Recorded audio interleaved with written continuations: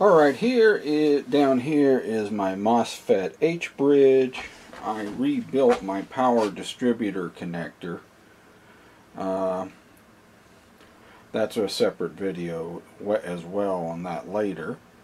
This is the K8048 PIC development board from Velleman Electronics. You saw this in another video that showed you how to program it and use it. I won't go into that here. There's my RS-232 connection.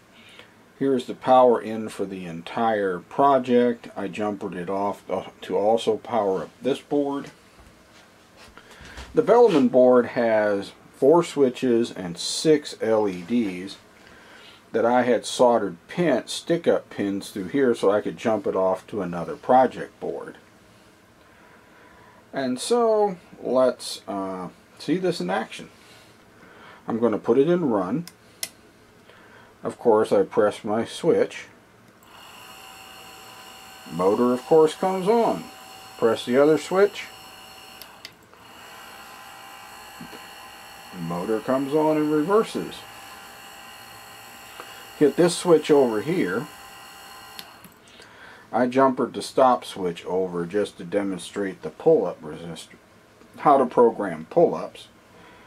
So what we'll do next is we'll look at how this thing is programmed to give you an idea what to play with on these PIC chips.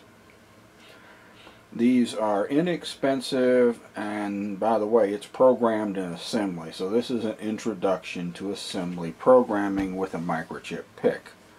A microPIC chip is guess what the heart of a PICAXE microcontroller. Same thing except it has a uh, built-in basic interpreter. So one more time.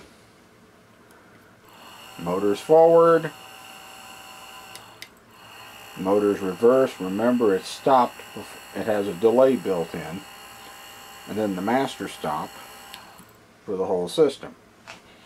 Alright.